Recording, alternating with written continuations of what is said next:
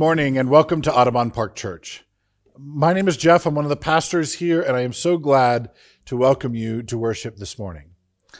As we worship together today, we'd love to know who is worshiping with us.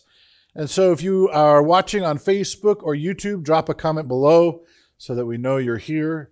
If you're watching from our website, fill out an online connection card so that we know you're worshiping with us. We'd love for you to share your prayer requests with us as well so that we can be praying for you and with you. Uh, you can do that again in the comments section if you're on Facebook or YouTube. Uh, a great time to do this is during the pastoral prayer that will be led by Pastor Glenn.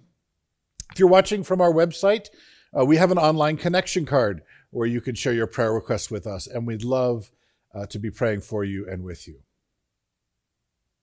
After today's service, uh, we will have a time of virtual coffee hour on Zoom, and we'd love for you to connect with us in that way. Uh, it's not as good as all being together in our church building uh, drinking coffee, but it's the next best thing. And so we hope you'll join us as we see each other's faces on Zoom and talk and hear what's going on in each other's lives. I want to talk a little bit about our plans for reopening uh, our church, our core leadership team, and our district superintendent have approved our church for phase two. And our church will be implementing our plan and will be ready to enter phase two on August 1st. Now, not much changes is phase two. Uh, phase two is an important step as we look forward to phase three and four when larger groups can gather. And because coronavirus numbers continue to rise in our area, uh, we'll be limiting the groups that can come in our building. Uh, we will uh, send out more information this week uh, with all the details of our plan. You'll even have access, if you'd like, to the entire plan, all 30 some pages of it. Um, but uh, I'm excited and encouraged that we are making even this small step uh, towards reopening our building and returning to in person ministry. So look forward to that letter from us this week. Uh, you also get a church newsletter this week that will have details about our uh, plan, and um, I'm excited to share all those details with you. Thank you for joining us for worship this morning. Uh, let's prepare our hearts and minds for worship through our call to worship. Come with what you have. For you who grieve this day, know that you are invited to bring the broken pieces of your heart. Loved by one another, we discover God's love for us. Come with what you have. For you who come with gladness, know that your melody will find harmony. Accepting God's love for us, we are called to love one another. Come with what you have. For you weighed down by too many shoulds and what ifs, know that you may lay down the burdens of guilt and shame Loved by one another, we discover God's love for us. Come with what you have. For you who have the answers, know that new questions await you. Accepting God's love for us, we are called to love one another. Come with what you have. For you who come seeking, know that your questions are safe in the presence of God. Loved by one another, we discover God's love for us. O God, we gather together in your presence with expectation, hungry for an encounter with you, eager to hear your word. Open our eyes and ears to the presence of your Holy Spirit. May the seeds of your word scattered among us this morning fall on fertile soil. May they take root in our hearts and lives and produce an abundant harvest of good works and deeds. We pray this in the name of Jesus Christ, our teacher and our Lord. Amen.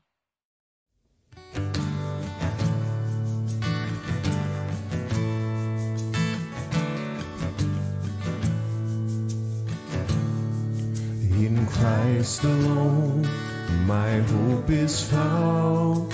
He is my light, my strength, my song, this cornerstone, this solid ground firm through the fiercest drought and storm. What heights of love, what depths of peace. When fears are still, when striving cease, my comforter, my all in all. Here in the love of Christ I stand. There in the ground, his body lay, light of the world by darkness slain, then bursting forth in glorious day. Up from the grave he rose and as he stands in victory, since curse has lost its grip on me. For I am his, and he is mine, bought with the precious blood of Christ. No guilt in life, no fear in death. This is the power of Christ life's first cry to final breath. Jesus commands my destiny. No power of hell, no scheme of man can ever pluck me from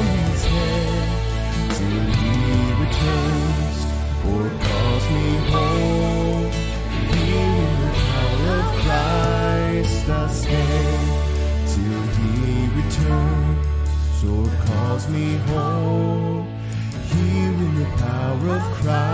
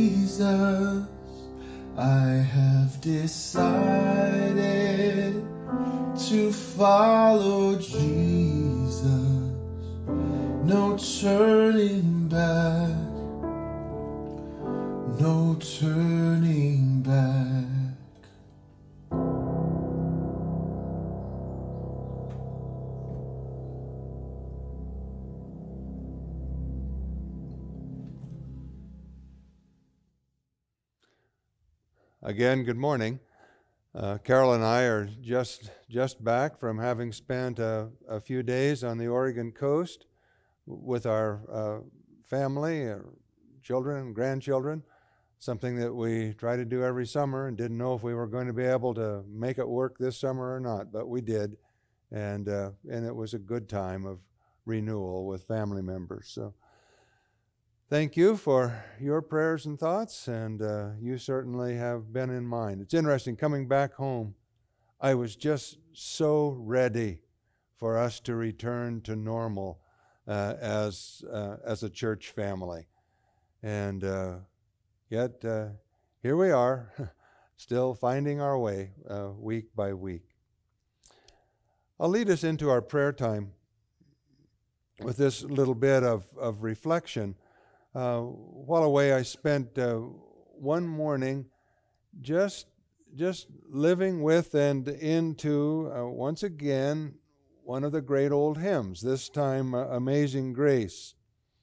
I spent the better part of one morning just just reflecting on the key words and lines that leapt out at me uh, from this uh, w- wonderful old hymn.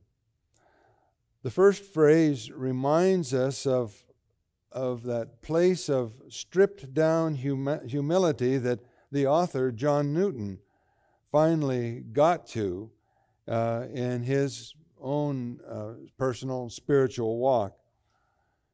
Many of you will remember that Newton had a, a rough start as a young man in the 1700s. Uh, he lived on his own by the time he was 14, uh, and it was a it was a, a rough and tough uh, existence.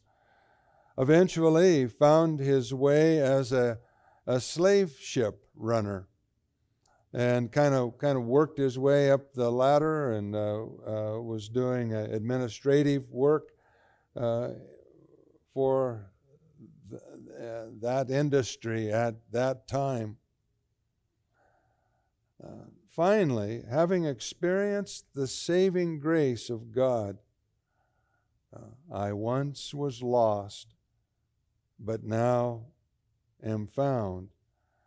Um, and even though it, it, it, took him a while to truly see the, the, the sin in what he was participating in. At first, after, after finding this new light of God in his life, at, at first he, he just worked for better conditions for the people that, that he was transporting. Uh, finally, he came to see the raw ugliness of the industry that he was a part of. I was blind, but now I see.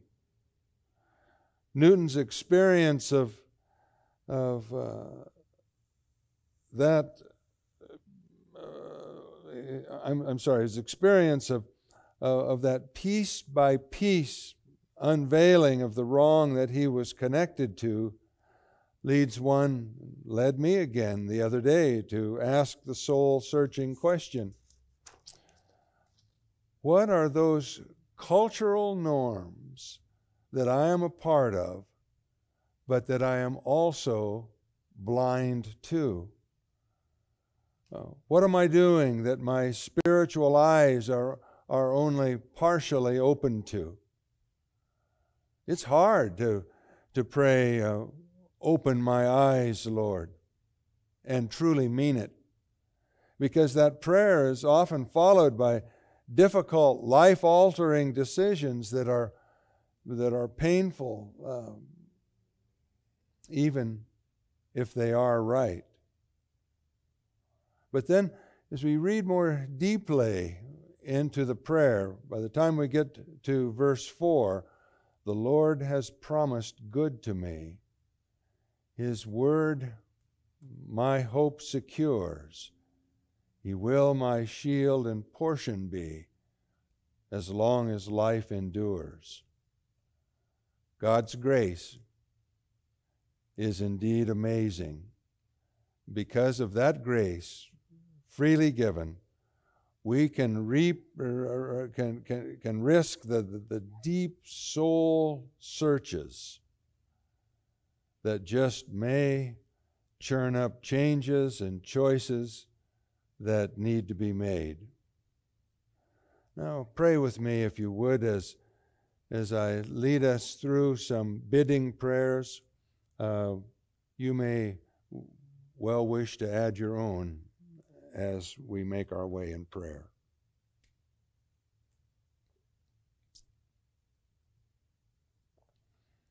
This day, I'd like to lift uh, former House of Representatives uh,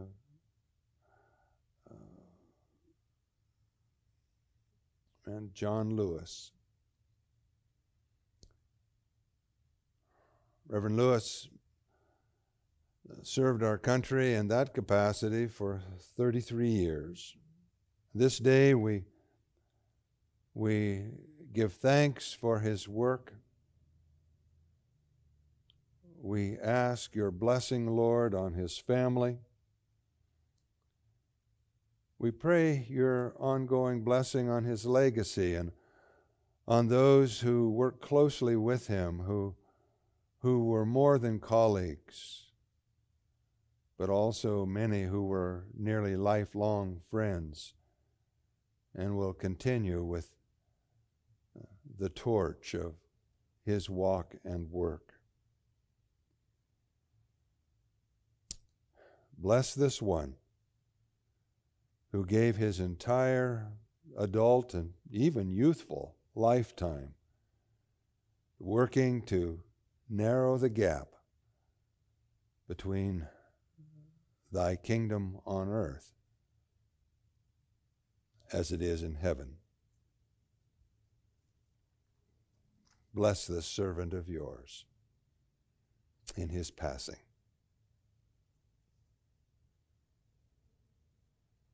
We ask your grace, Lord, for strength to continue, for endurance, for those who have recently lost loved ones. We pray for the mothers, fathers, children, and neighbors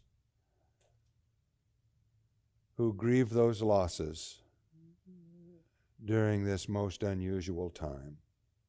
Bless them, Lord.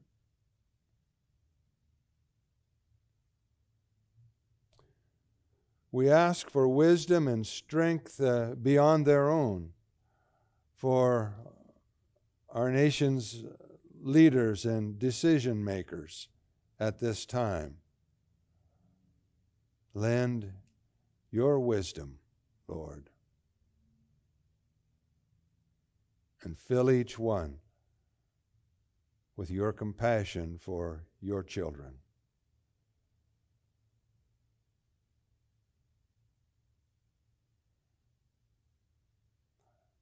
We pray, Lord, for safety for hands on frontline workers, those whose daily round brings them in contact with great risk to their own health and, and life. Bless them, Lord. We ask, living God, for creative grace for us all. Give us eyes that see opportunities to crack open even a tiny window of joy and healing for one another. Continually lift us out of ourselves. Give us eyes to see and feet that walk um, beside those who just need a fellow journeyer to walk with. We pray, Lord, for those of our, of our own fellowship. We pray for those who wrestle with the daily health needs. We pray for those who, during this time of so much separation, who struggle with loneliness, in some cases, depression. We pray for those who, during this time, are finding it necessary to grieve largely alone. We ask, O oh God, for uh, the gift and grace, for the miracle of ones who might unexpectedly come alongside.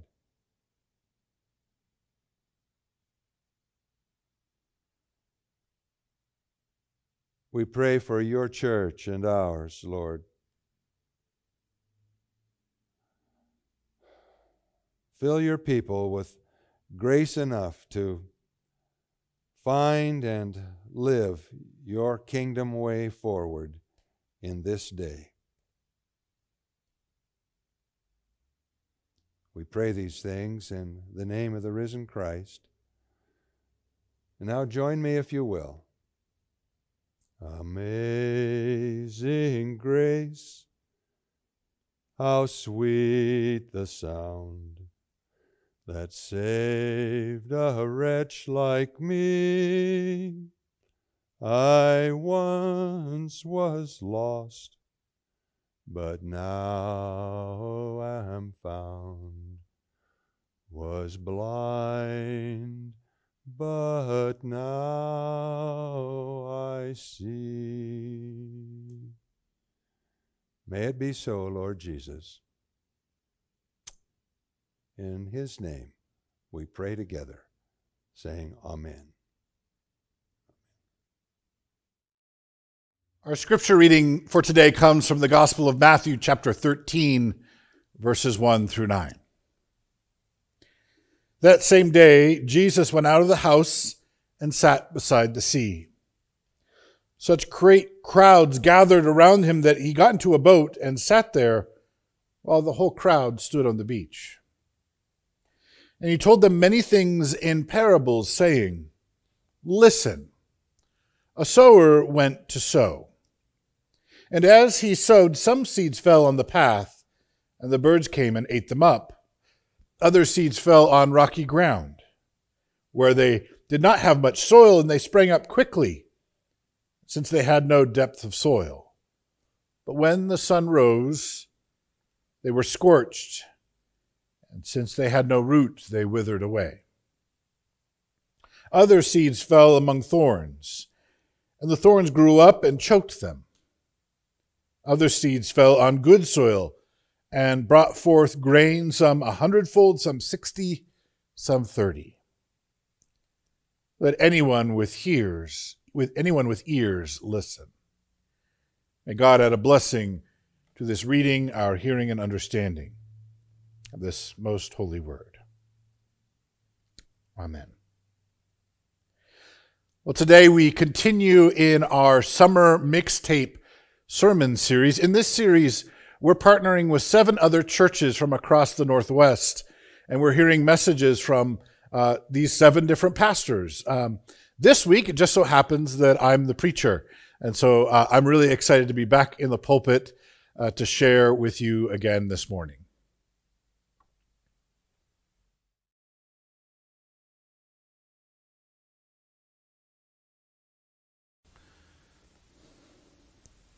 Let us pray.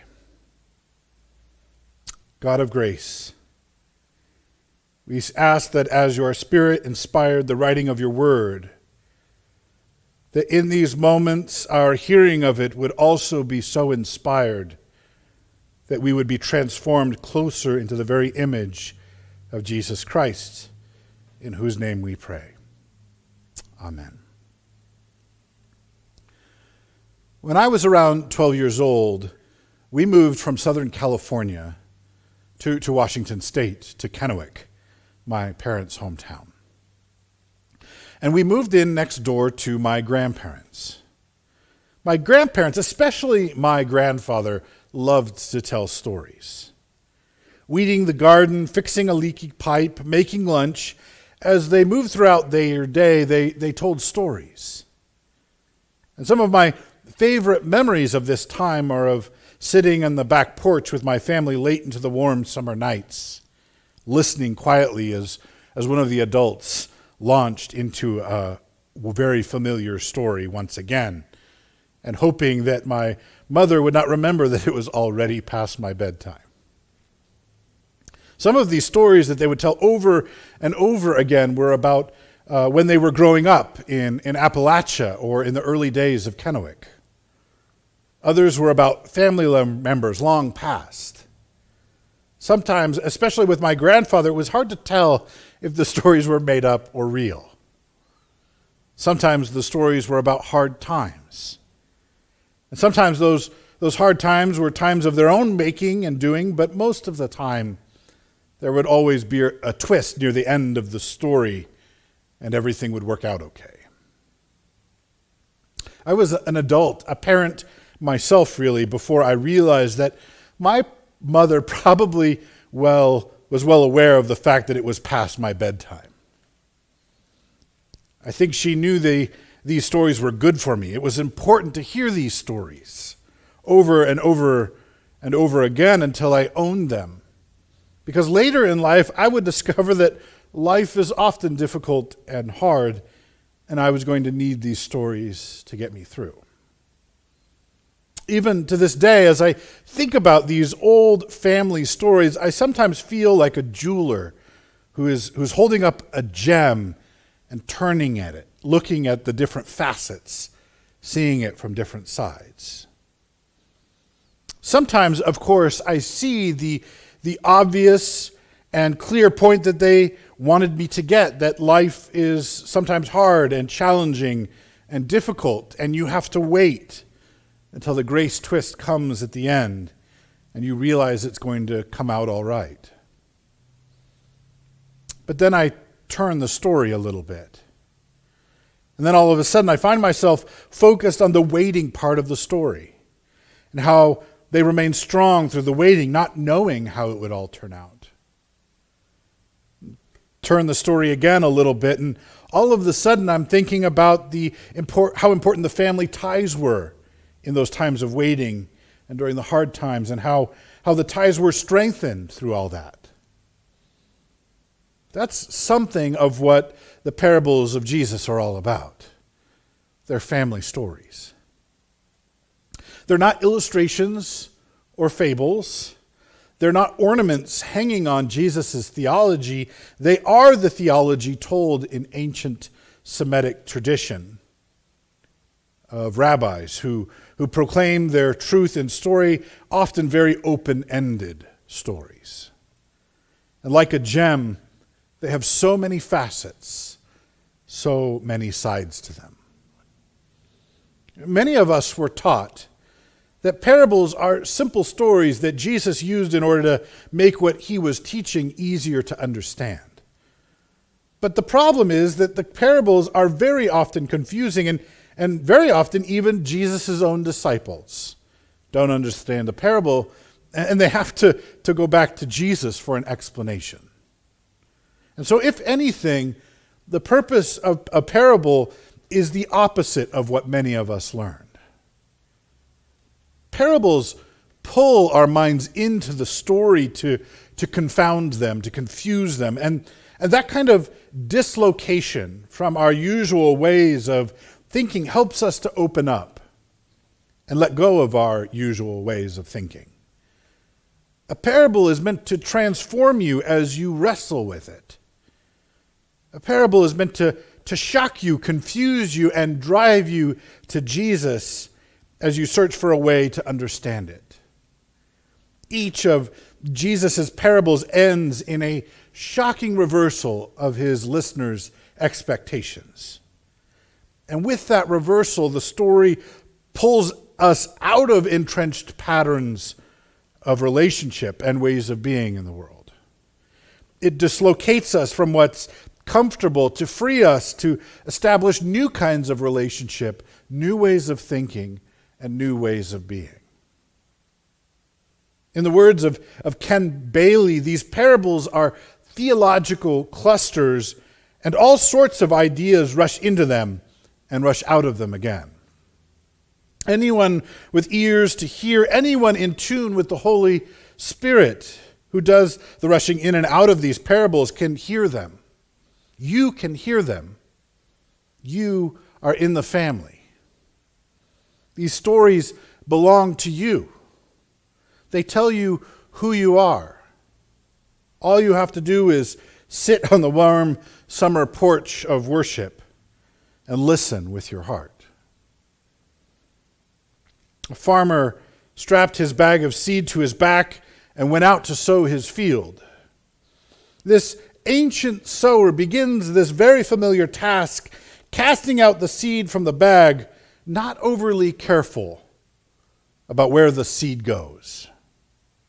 And the point here seems to be just to get the seed out. Some of it inevitably falls onto that hard worn public path between fields. This seed doesn't have a chance. It's not even going to germinate before the birds come to eat it. And some of the seed falls on rocky ground. And, and some of that seed does germinate and it springs up, but the rocky ground doesn't allow these plants to grow roots. And when the sun comes out, it just scorches the plants right on the spot. Some of the seed, the sower knows will start out all right, but then weeds and thorns are going to come along and just snuff them out. Thankfully, thankfully, some of the seed falls onto good ground, and that's where the harvest come from, comes from. It, it produces. And that's the end of the story. Time for bed now, where you can go and lie on your back, stare at the ceiling, and wonder what that story was all about. You can just keep turning it over and over and over, looking at all the sides. Where do you find yourself in this story? Are you the sower who's come to worship trying to figure out why your life hasn't turned out the way you expected? Are you the seed trying to figure out how you landed on this hard path where, where everybody walks on you all the time? Or are you one of these options of ground?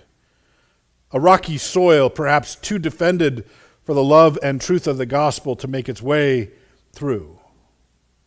Or have you been nurturing some weed that is close to choking out the seed of hope? Have you come to worship wondering what it would take to become good soil, hoping that something wonderful could happen in you and through you? Well, there's about 12 sermons there, and any of them are viable. Depends on how you look at it. That's the blessing of this parable. It has all these facets. But don't worry, today I'm just going to preach one sermon. Uh, the facet of the story that, that seized me this week as I delved into this story.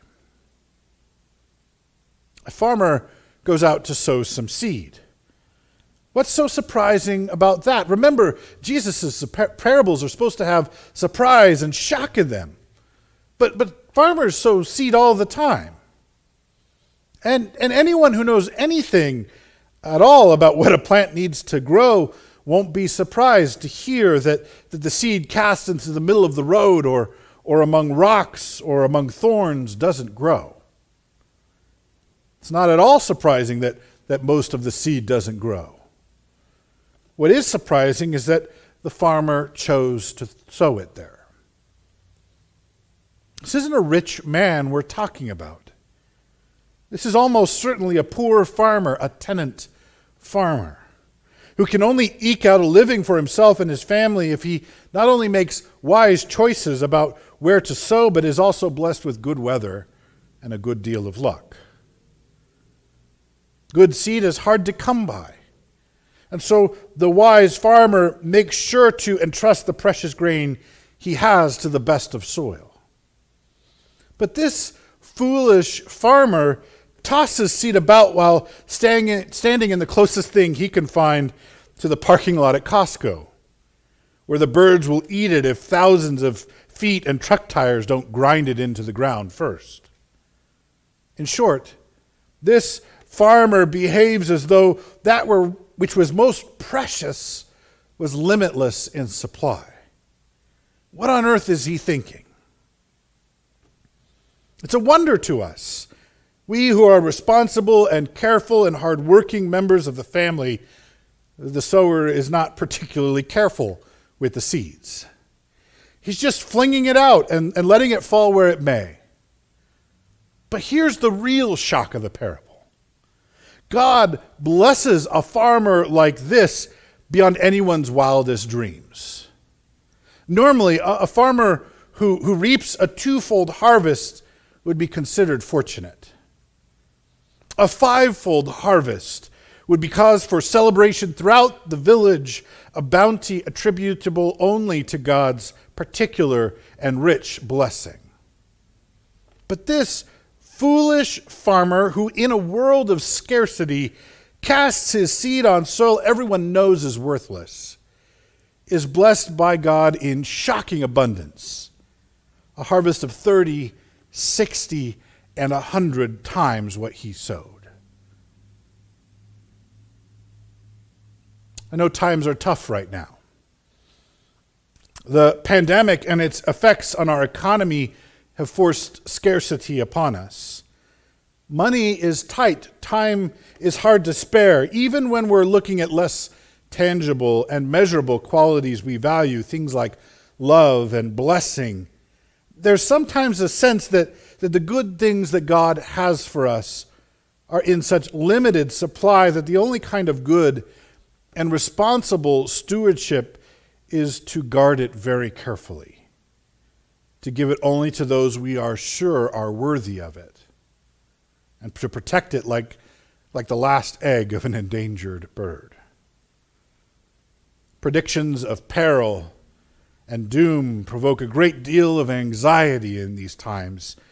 We're living on a knife's edge, and that tends to, to shut down the kind of creative and life giving vision that energizes us to live more deeply into God's dreams for us as individuals, for our communities, and, and for our world.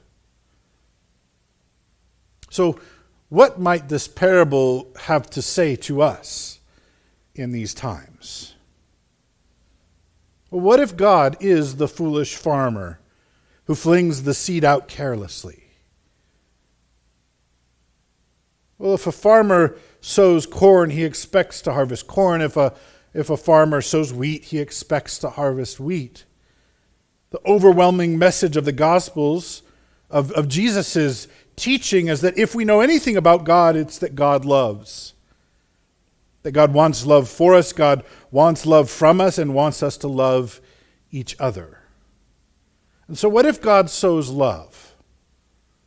What if God sows a word of love? That it would seem logical for God to expect love. What is it that God showers on the world? It could be blessing or, or justice or grace. All of these are precious gifts that God seems to treat as limitless in supply. The parable of the sower has become a, a foundational story for me.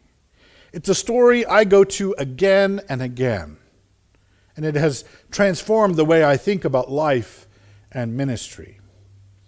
I'll, I'll end with this story. My first year out of seminary, I pastored a church that had a, had a benevolence fund administered by the pastor, so me. Uh, so this is a pretty common thing, and many churches have a similar setup. I'll admit to you that, that I felt totally unprepared for the task. Thankfully, I had inherited a set of guidelines to help guide me as I met with people and, and tried to help them with these funds. The guidelines I have been given ask me to interview those coming to the church for help to make sure that they were eligible. Were they from the town that the church was located in, or were they just passing through? Did they have a job? Were they sober, or did they struggle with drugs or alcohol? And once I had interviewed them and made sure they were eligible, made sure they were deserving, I could then give them several forms of help, limited as they might be a night in a motel, a voucher for food or gas, help with a utility bill. I will confess to you that, that while at first I was grateful for some framework with which to approach this work of helping people, it, it very quickly, within a couple weeks, became unbearable. I felt totally inadequate to judge who deserved help and who did not. I can remember agonizing about whether the person I helped really needed the help. Had I wasted the little resources we had on someone undeserving? Or what about the person I, I didn't help? Did they really need it? Had I messed up? It tore me up inside. And then one week, as I was preparing for worship in the sermon, I encountered uh, a story I knew so well the parable of the sower. But this time it, it landed with me a little differently. I saw a different side to the story than I had before. We at the church like to talk about how the help we gave others was an expression of God's love. What if we followed the sower's, followed the sower's example and cast seeds of love indiscriminately? What if we didn't try to figure out if people really needed help or deserved it, but just loved them and helped them just because they were asking, just because they were a human being in need of help? There were many reasons not to. We were worried about running out of funds. What if people took advantage of us? But can someone really take advantage of you if, if all you want to do is love them unconditionally? Can you ever really run out of God's love? What does this morning's gospel say to us? In a story that suggests that God is like a farmer who tosses seed into parking lots for the pigeons to eat, and in the surprising harvest that grows. Well, God has blessed us richly. And God's people have been entrusted with, with that which is most precious in the world. But most ironically, these precious commodities only gain value. The seed of God's word only bears fruit when God's people scatter it absolutely heedless of who is worthy to receive it. We don't have to wonder who is worthy of receiving God's love. God has already deemed all of us worthy of love and justice and grace. And so we who, who follow Christ, we who are God's people, are called to sow these things abundantly and foolishly. We are called to treat God's love, God's justice, and God's grace, precious as these things are, as though they were absolutely limitless in supply, for one simple reason they are. Amen.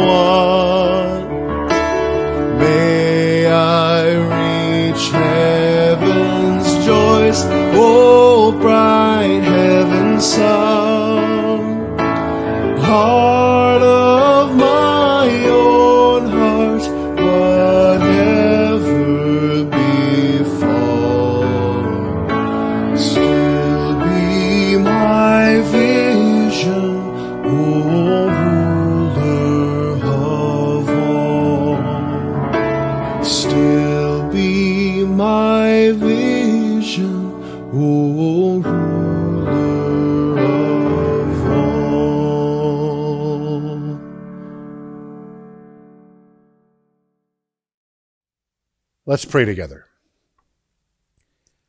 Gracious and holy God, we give you thanks for your grace, your justice, your love.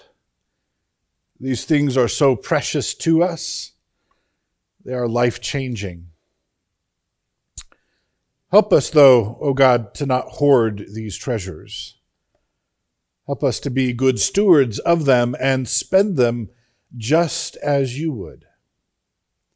Help us to be extravagantly generous. Help us to be even foolish with your love, your justice, and your grace.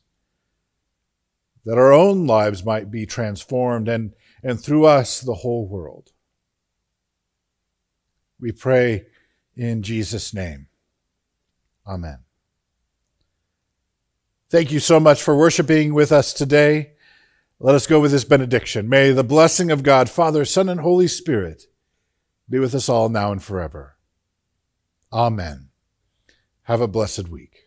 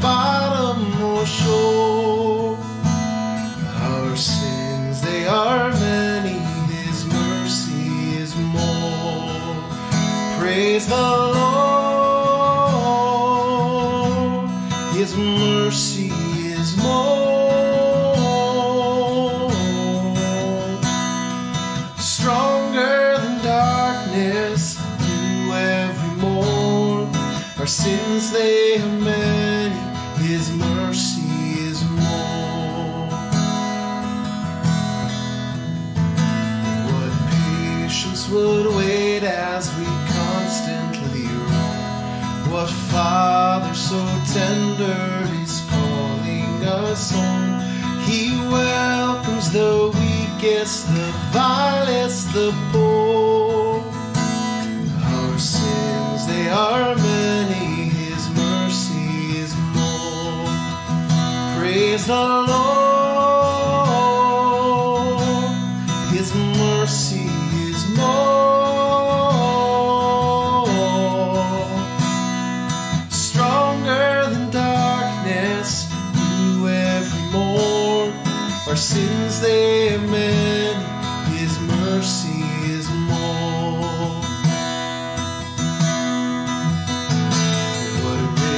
riches of kindness he lavished on us.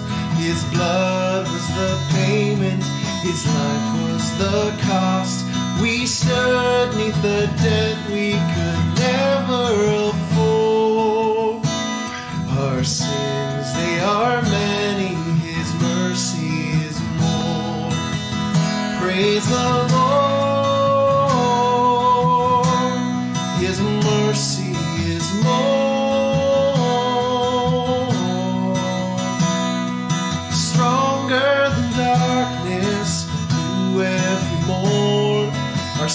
sins,